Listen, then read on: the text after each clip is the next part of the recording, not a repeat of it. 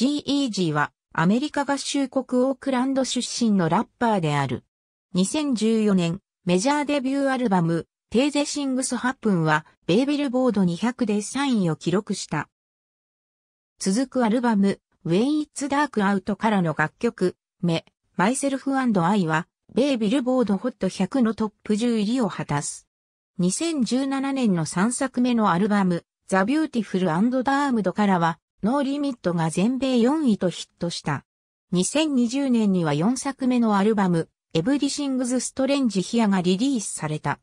ライブでの GEG2014 年、メジャーデビューアルバム、テーゼシングスハプンをリリースし、ベイビルボード200で3位を記録した。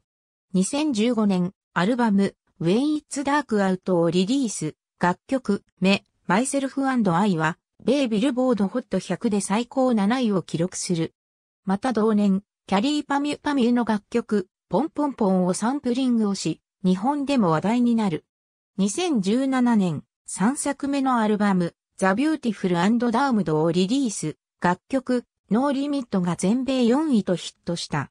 また、同年、歌手のケラーニとコラボした楽曲、 Good Life が映画、ワイルドスピードアイスブレイクのサウンドトラックに起用され世界中で注目を集めた。同年サマーソニックにて、ケラーニと共に初来日を果たし、日本で初パフォーマンスを行った。